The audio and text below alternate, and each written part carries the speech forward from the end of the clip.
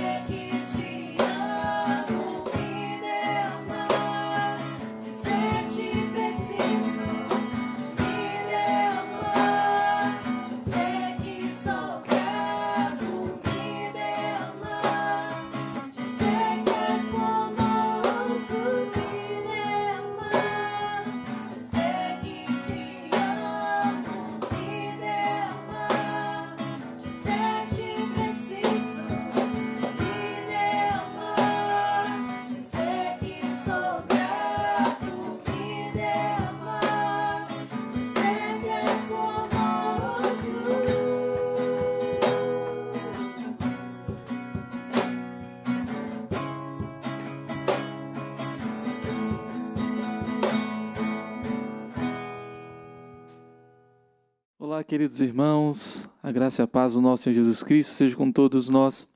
Nós estamos aqui para compartilhar com vocês mais uma porção das Escrituras Sagradas, mais uma porção da carta de Tiago, do qual você já vem, vocês já vêm estudando, né, ao longo destes últimos sábados. É, mas antes de nós entrarmos diretamente no nosso estudo, vamos fazer uma oração. Deus bendito, nós glorificamos o nome do Senhor e aqui, o Deus, pedimos a tua direção por esse estudo, ó Pai, que aqui ministraremos. Que o Senhor esteja, ó Pai, enchendo nosso coração, ó Deus, de alegria, de esperança. Que o Senhor esteja, ó Deus, nos conduzindo segundo a tua palavra, nos ensinando, ó Deus, por meio da tua palavra, e que, fortalecidos por essa palavra, possamos praticar aquilo que a tua palavra nos ensina. Em nome do Senhor Jesus que oramos. Amém. Queridos, nós temos um desafio grande. Por quê? Porque uh, nós vamos estudar hoje do verso 1 ao verso 18 do capítulo 1 de Tiago. É, aqui há várias recomendações e eu vou tentar, eh, de uma maneira prática, falar sobre ah, como nós precisamos nos portar diante das adversidades, quais as atitudes necessárias eh, diante das adversidades que nos aparecem. Queridos, cada trechinho desse aqui, de dois, três versículos, daria um sermão de 40 minutos, 30, 40 minutos. E nós temos esse tempo para poder falar sobre todos esses trechinhos. Então, eu não vou, obviamente, me aprofundar nas, na, na, na, na teologia ou na, na questão exegética, mas, obviamente, observando o texto das Escrituras e aquilo que ele nos ensina de uma forma prática, de uma forma objetiva, nós vamos elencar algumas lições para a nossa vida diária, para que nós possamos praticar tudo aquilo que a palavra do Senhor nos ensina. Então, obviamente, nós vamos ler o verso de número 1 para iniciar e depois, à medida que a gente for é, expondo o texto, a gente vai lendo também os trechinhos e tirando as lições dele. Tiago 1, 1, então vai dizer: Tiago, servo de Deus e do Senhor Jesus Cristo, as doze tribos que se encontram na dispersão, saudações. Aqui ele começa se apresentando, falando para quem ele está escrevendo e também ah, saudando essa, esses irmãos. Ah, nosso irmão Luciano, na primeira exposição, quando ele falou do verso 19 ao verso 27 dessa, desse mesmo capítulo, né, ele já nos trouxe algumas informações importantes quanto à carta, quanto ao contexto da carta, e outros irmãos também, ao longo da, das suas exposições, também observaram algumas outras coisas à medida que eles foram é, expondo o texto e dentro do seu contexto. Então eu quero apenas observar aqui brevemente que essa carta, já que nós vamos falar sobre a questão da diversidade, nós precisamos entender por que Tiago escreve essa carta, quem estava recebendo a carta e o que estava acontecendo com eles. Então, de uma maneira breve, a gente tem que entender que Tiago escreve a irmãos que estavam sendo levados presos. Estava, estava escrevendo para crentes que estavam sendo levados a tribunais, estavam sendo acusados injustamente. Esses são os crentes do qual Tiago está aqui escrevendo. Por isso ele vai falar sobre a questão das adversidades, das provações que aqueles irmãos estavam passando. Tiago estava ciente de tudo isso. E ele, estava, ele sabia que aquela igreja estava sofrendo por causa do nome do Senhor Jesus. Ele estava ciente, queridos, de toda aquela situação, assim como ele esteve ciente da morte de Estevão, assim como ele estava ciente da, da dispersão da igreja por causa da perseguição. Ele estava ciente de tudo isso. Por isso, ele escreve essa carta de maneira prática, de maneira objetiva, buscando encorajar aqueles irmãos a viverem conforme a vontade de Deus. É claro que nós não enfrentamos a mesma coisa que a igreja primitiva. As nossas adversidades, as nossas tribulações, as nossas provações, muitas delas são bem diferentes do, do que aqueles irmãos estavam sofrendo. No entanto, a adversidade nós enfrentamos. Nós passamos pelas adversidades, por, por momentos de tribulação, por momentos de angústia. Por isso, essa carta se faz, e esse texto principalmente, se faz necessário para que possamos tirar lições para o nosso dia a dia. E a primeira atitude, já que eu quero ser objetivo e, e, prático, a primeira atitude que nós vemos aqui nesse texto se encontra dos versos 2 ao verso 4, que aí agora nós vamos ler, dizendo: Meus irmãos, tende por motivo de toda alegria o passardes por várias provações, sabendo que a provação da vossa fé, uma vez confirmada, produz perseverança. Ora, a perseverança deve ter ação completa, para que sejais perfeitos e íntegros, em nada deficientes. Quando nós enfrentamos algum problema, quando estamos no meio de uma crise, quando passamos por um momento de tribulação, é claro que isso vai nos entristecer. Isso é mais do que comum. Então, por que Tiago aqui está falando sobre a questão de ter motivo de alegria ao passar por provações? Claro que ninguém conta um momento de tribulação gargalhando, sorrindo, fazendo piadinha. Mas o que Tiago está nos, nos chamando a atenção é que, mesmo diante desses momentos de crise, momentos de tribulação, momentos de tristeza, nós temos motivo de gratidão a Deus. Nós temos motivo de nos alegrar em Deus. E o motivo do qual Tiago aqui está expondo é justamente que Deus usa esses momentos de tribulação, Deus usa essas várias, essas, é, como ele diz aqui, é, várias provações, para que nós possamos ser fortalecidos na nossa fé. Deus usa esses momentos para moldar o nosso caráter segundo o caráter do seu Filho Jesus Cristo.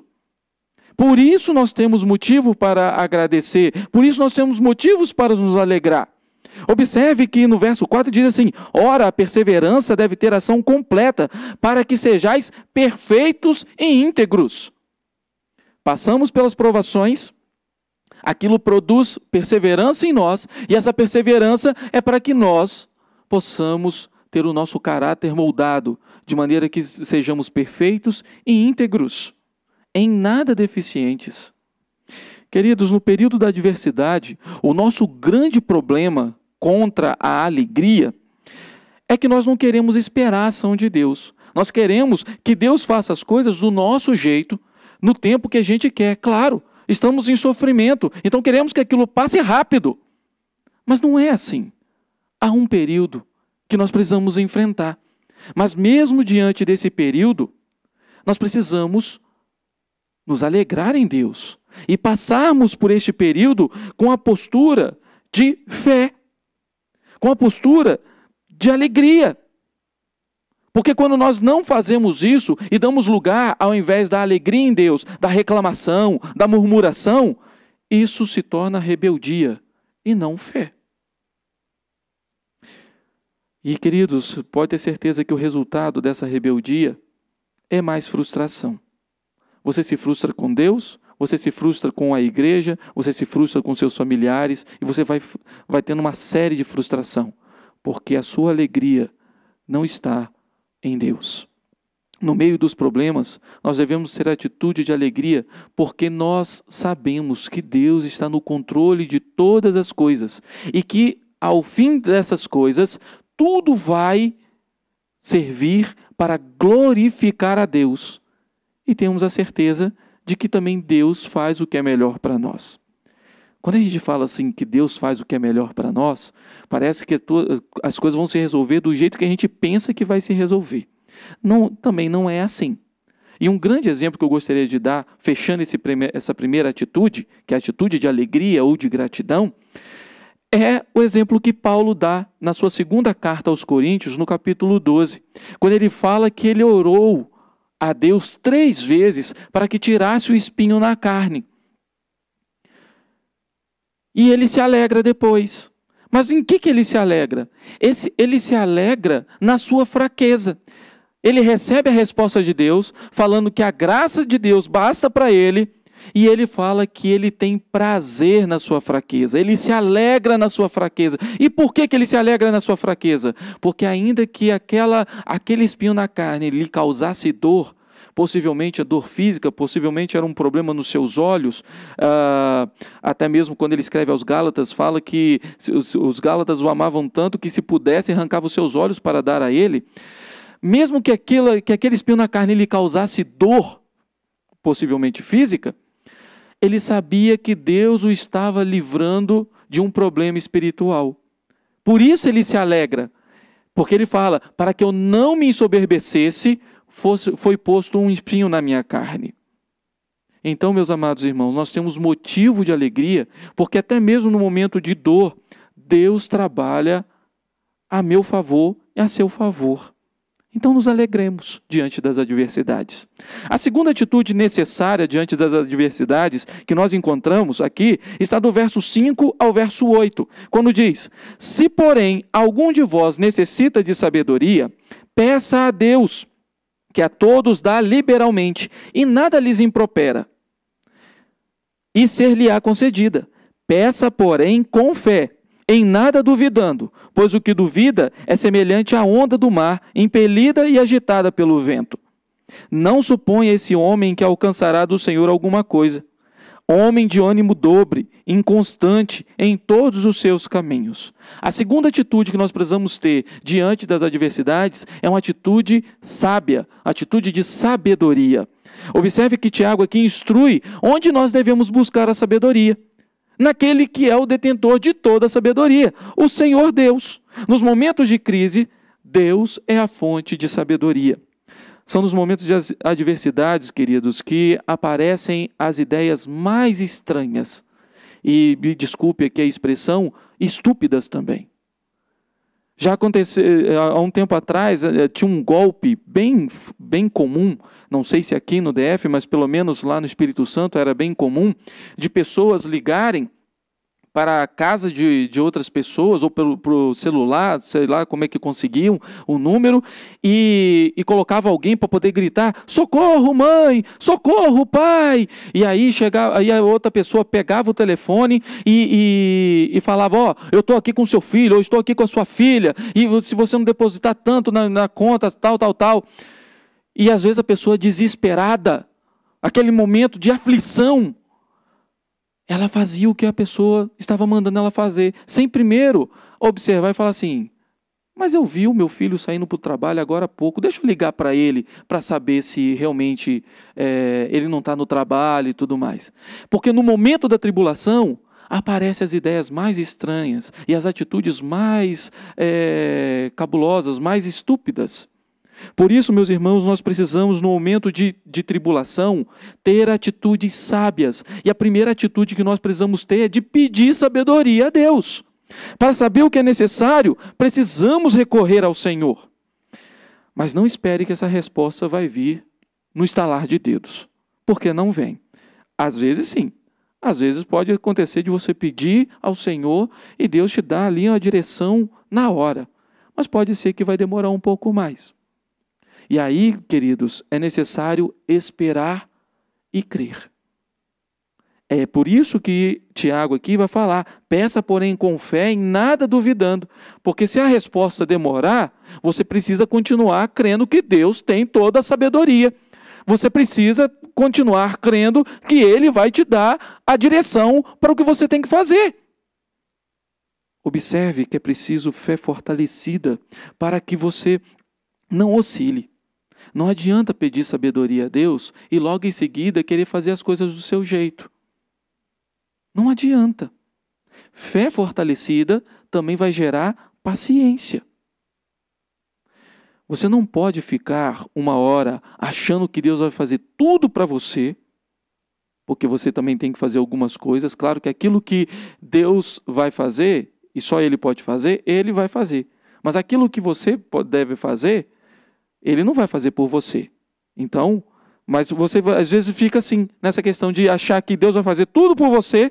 Daqui a pouco vem aquela história de que, na sua cabeça, de que Deus está conspirando contra você.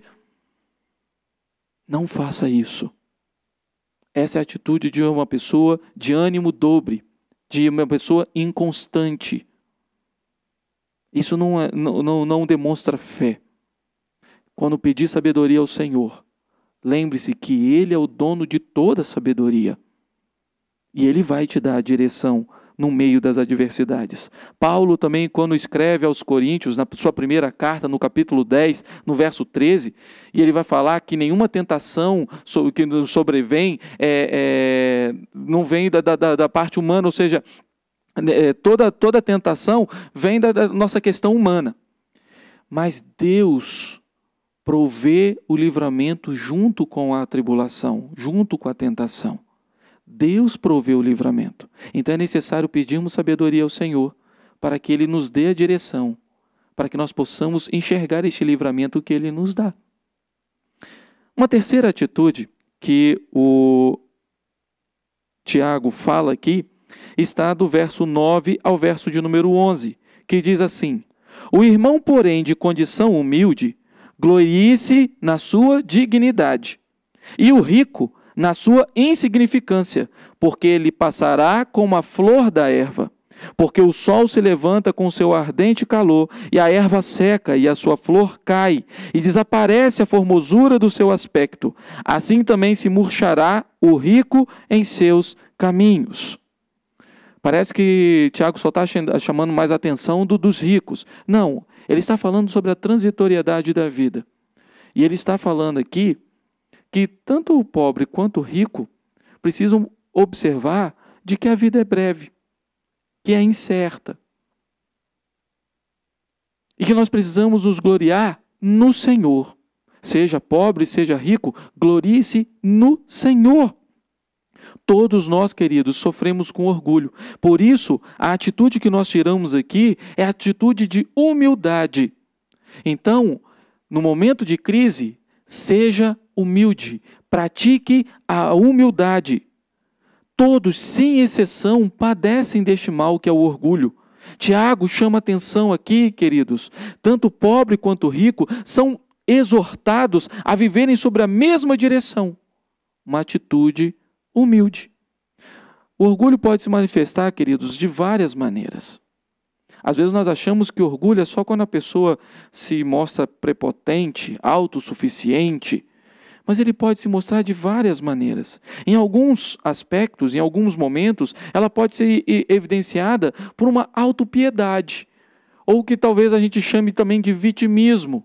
Sabe aquela coisa da pessoa chegar e falar assim: ah, ninguém me ama, ninguém me quer, tudo dá errado na minha vida.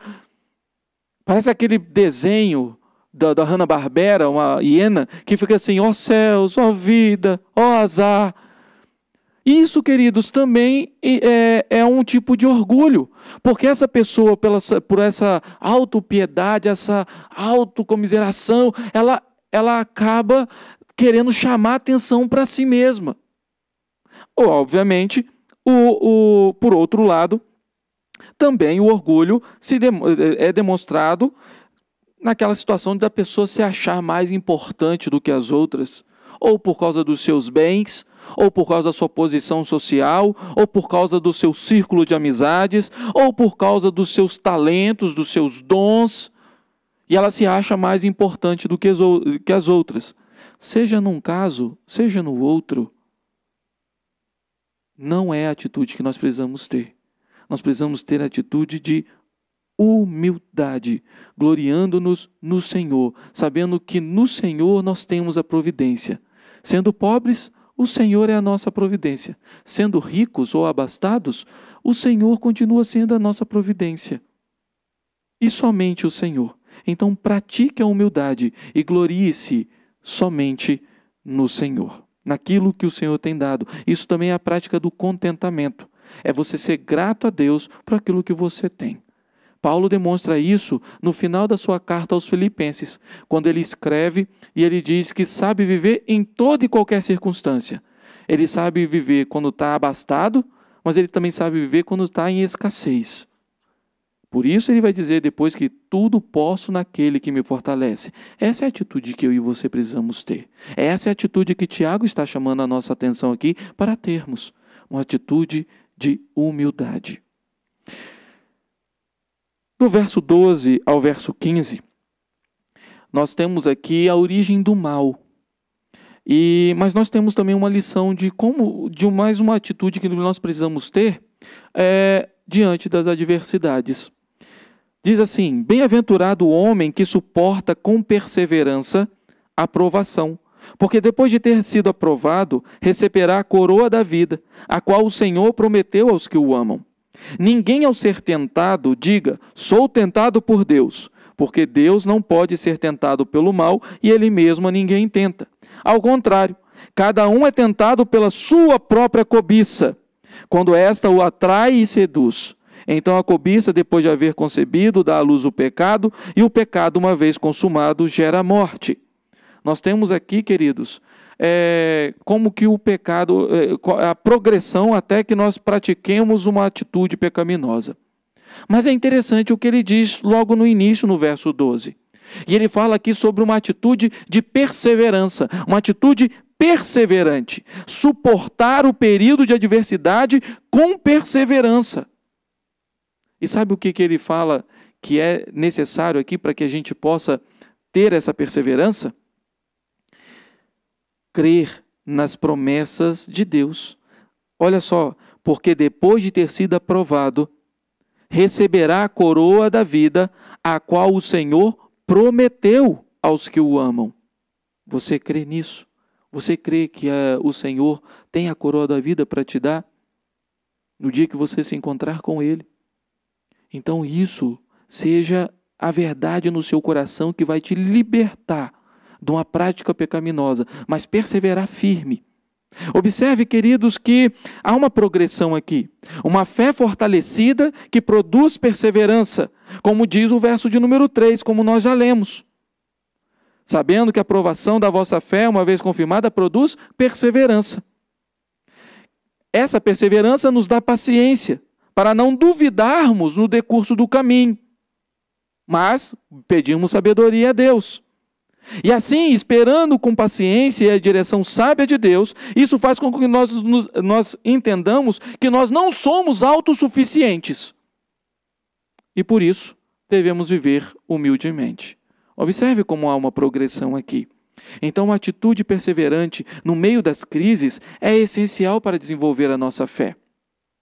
Além disso, ela é uma arma necessária, extremamente necessária, para combater o nosso coração cobiçoso. Lá em Jeremias capítulo 17, verso 9 diz: Enganoso é o coração e desesperadamente corrupto. Quem o conhecerá? Assim é o nosso coração. Então, quando a nossa vontade pecaminosa quiser sobressair, é preciso lembrar das promessas gloriosas de Jesus Cristo da nossa herança celestial, aquela do qual está prometida a nós. E assim nós vamos continuar perseverantes, com paciência, com humildade, com alegria no Senhor. Se no meio da adversidade nós fraquejarmos na perseverança e alimentarmos a nossa cobiça, alimentarmos o nosso orgulho, nós nos aproximaremos cada vez mais da consumação do pecado. Lembremos o que Paulo diz, queridos, aos Efésios, lá no capítulo 6, no verso de número 13, quando ele diz: Portanto, tomai toda a armadura de Deus, para que possais existir no dia mal, e depois de ter vencido tudo, permanecer inabaláveis. Um grande problema que nós temos é nos acomodar depois de uma batalha vencida.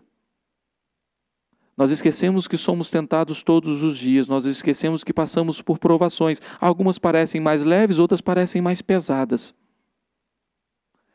E às vezes, depois de uma grande batalha, depois de uma grande tribulação, depois de uma grande crise, a tendência é a gente dar aquela acomodada. E aí, Paulo, aos Efésios, chama a nossa atenção, falando assim: olha, toma a armadura de Deus mas não tira ela não. Continua. Porque depois que você vencer essa batalha aí, depois de você vencer esse momento de crise, a outra crise que vai vir, e pode, pode ter certeza que ela virá, não vai te pegar desprevenido. Então, para você permanecer inabalável, continue firme, continue perseverante. Tiago aqui está de acordo com essa palavra também de Paulo quando ele nos chama atenção para a perseverança, a perseverança nas promessas de Deus. Então, queridos, no meio das, das crises, no meio das, das adversidades, tenha a atitude necessária de perseverança. E assim nós chegamos na nossa última atitude, que está do verso 16 ao verso 18, que diz assim: Não vos enganeis, meus amados irmãos. Toda boa dádiva e todo dom perfeito são lá do alto, descendo do Pai das luzes, em quem não pode existir variação ou sombra de mudança. Pois, segundo o seu querer, ele nos gerou pela palavra da verdade, para que fôssemos como que primícias das suas criaturas. Observe, meus queridos, que do verso 16 ao 18, Tiago nos chama atenção para olharmos quem é a fonte de todo o bem.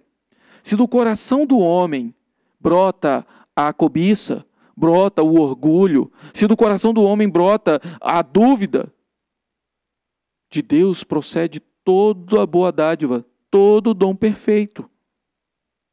Deus é a luz que, brilhando em nosso coração, lança fora toda incredulidade, toda incerteza, toda cobiça, todo orgulho, toda tristeza. Porque todo dom perfeito vem dele e, é nos, e, e nos é garantido por meio de Jesus Cristo, em quem nós temos a redenção. Pelo sacrifício de Cristo aplicado no nosso coração, pelo Espírito, mediante a palavra, nós temos um novo coração, somos uma nova criatura. E é interessante quando aqui no verso de número é, 18 ele falar sobre esse termo, né, as primícias das, das suas criaturas, porque a criatura, essa expressão criatura é muito propícia porque, como criaturas, nós somos dependentes do nosso Criador. É Deus e somente Deus quem dirige, preserva, sustenta, governa a nossa vida. A parte de Deus, no meio de uma crise, o que vai entrar no nosso coração é dor, desespero, insensatez. Mas em Deus nós somos fortalecidos e nós somos preparados para enfrentar as adversidades. Eu já contei essa experiência, mas eu, eu, eu queria contar novamente de uma irmã que estava passando por uma dificuldade muito grande. Eu fui visitá-la, sabia das dificuldades que ela estava vivendo, e ela simplesmente virou para mim e falou: Sabe, pastor, Deus tem sido muito bondoso para comigo porque é, ele nunca permitiu assim que uma crise muito grande ou uma tribulação muito grande me atingisse. E eu sabia o que estava acontecendo com ela, quanto à questão de saúde, família e tudo mais. E eu falei: "Não, irmã, é porque quando como a irmã está ligada em Deus, dependente de Deus, Deus tem fortalecido a irmã e a irmã não está é, sentindo como se fosse algo grandioso. Deus tem abençoado a irmã de maneira que tem ajudado a irmã a suportar todos os momentos de tribulação. E é assim também, queridos, quando temos uma atitude dependente, reconhecendo que nós não somos autossuficientes, que não é em nós a fonte de todo bem, que não está em nós toda a sabedoria, mas que está no Senhor, e somos dependentes do Senhor, e somos direcionados, somos governados, somos protegidos, a nossa providência vem somente do Senhor. Sim, podemos passar pelos momentos da, da adversidade, pelos momentos de tribulação, pelas crises, sem sentir tanto. Por isso, meus amados irmãos, eu gostaria de encerrar, concluir, observando alguma coisa, algumas coisas com vocês. Primeiro, diante das crises, diante dessa pandemia, diante desse confinamento que nós estamos vivendo, que nós estamos sendo forçados, de uma certa forma, a passar, quais atitudes você tá, está exercendo? Você tem exercido a alegria? Você tem exercido uma atitude sábia, uma atitude humilde, uma atitude perseverante, uma atitude dependente do Senhor? Não é fácil. Deus sabe. Cristo nos alertou, queridos, para momentos como esses mas ele também nos revelou o caminho da vitória. Ele é o caminho da vitória. O Senhor Jesus é o caminho da vitória. Ele venceu as adversidades deste mundo. O que eu e você enfrentamos aqui, não estou falando, obviamente, mais da pandemia, mas de todo tipo de tribulação, o Senhor Jesus sofreu. O Senhor Jesus enfrentou. O Senhor Jesus enfrentou tentações. O Senhor Jesus se deparou várias vezes com pessoas endemoniadas, se deparou várias vezes com pessoas doentes, se deparou com pessoas mortas. O Senhor Jesus se deparou com, com opositores.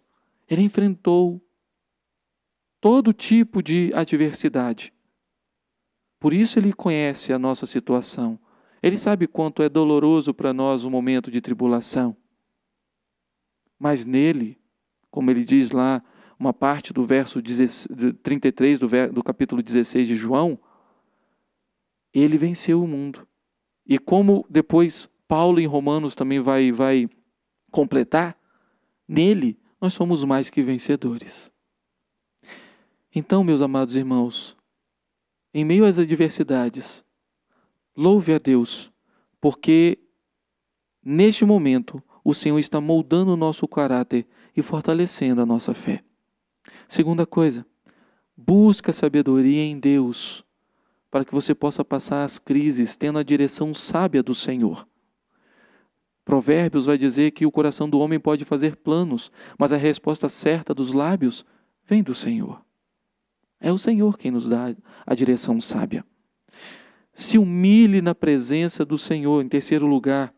A nossa vitória, queridos, está ligada a essa atitude de humildade. Lá no capítulo 4, os irmãos já devem ter estudado sobre isso. No capítulo 4, no verso 10, Tiago diz: Humilhai-vos na presença do Senhor, e ele vos exaltará. O caminho da vitória, o caminho da exaltação, começa pelo caminho da humilhação. Em quarto, persevere. Persevere crendo nas promessas do Senhor, nas promessas celestiais, a promessa da sua herança celestial, para que você não seja enganado pela sua própria cobiça, pela sua própria vontade pecaminosa, pelo seu coração pecaminoso. Persevere crendo nas promessas do Senhor. Em, em último lugar, viva na dependência daquele que é a fonte de todo bem. Não ache que você é, é autodependente. Não ache que você é dono do seu próprio nariz e você tem que fazer aquilo que você acha melhor, que você pensa que é o certo a fazer. Viva na dependência daquele que é a fonte de todo bem. Que Deus abençoe a sua vida que Deus te abençoe poderosamente, para que você tenha essas atitudes no seu viver, seja agora no período de pandemia, seja em qualquer outro tipo de tribulação ou momento de crise que você tiver na sua vida. Lembre-se dessas atitudes que nós aprendemos nas Escrituras Sagradas que precisamos ter para que possamos passar pelas adversidades. Vamos orar mais uma vez? Pai, em nome do Senhor Jesus, fortalece-nos porque essas atitudes, ó Pai, só conseguimos praticar na força que vem do Senhor. Por isso a tua palavra nos diz: fortalecei-vos no Senhor e na força do seu poder. Sem o Senhor, não temos condição nenhuma de praticar nenhuma dessas virtudes. A alegria, a humildade, a sabedoria, a perseverança, a dependência, nenhuma delas. Mas em Ti, e somente em Ti, somos, ó Deus, ensinados e fortalecidos a perseverar, firmes, olhando para o nosso alvo, o Senhor Jesus Cristo. Pai bendito, abençoa, Deus, a todos aqueles, ó Deus, que estão ouvindo essa mensagem agora. Guarde-os do, do teu paternal cuidado. Em nome do Senhor Jesus. Amém. Que Deus te abençoe.